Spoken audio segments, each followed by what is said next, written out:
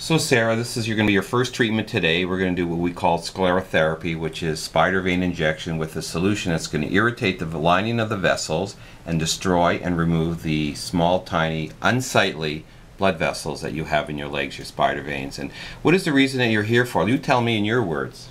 I think it's just uh, discomfort with the way that it looks when I'm wearing uh, shorts and bathing suits. Okay, well, you know what? That's a very common cause or reason for people coming in. So what I'm going to do is just take this very tiny needle, and I'm going to see if I can just get into a tiny vein here. Okay. And see if I can just, there we go, perfect.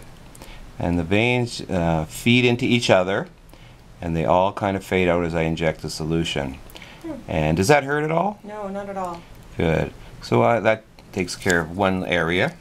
And then they come back a little bit. They flush. It flushes the system, the superficial veins, and they're going to come back a little more pink than they were before. And then the body will um, take over the cyst, take care of uh, removing them. I'm going to do another area here for you, Sarah. Okay.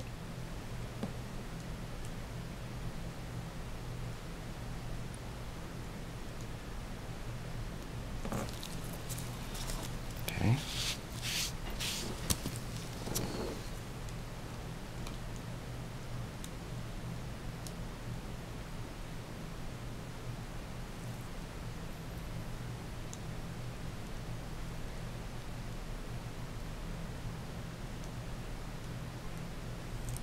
So I like injecting. Sometimes you get right into the vein. Sometimes the veins are so small that even if you leave a little bit of solution next to the vein, it'll get rid of them. The nice thing about this, it doesn't really hurt, and um, there's no scarring.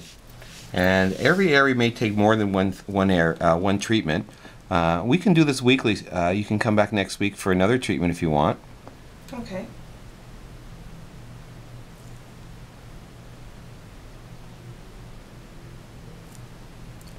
You know, you, this whole area is only going to take up a couple minutes to do.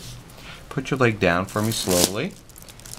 And you can see how it's, uh, we can see it's a little brighter looking now than it was before. You can sit up and you see that. That means these veins have all been ejected. I'm just going to do one more area here, and then we'll call it a day. And then we're going to put a wrap on you for the day.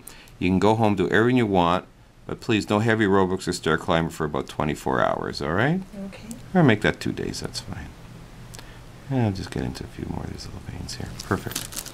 Okay, we're done. Wonderful.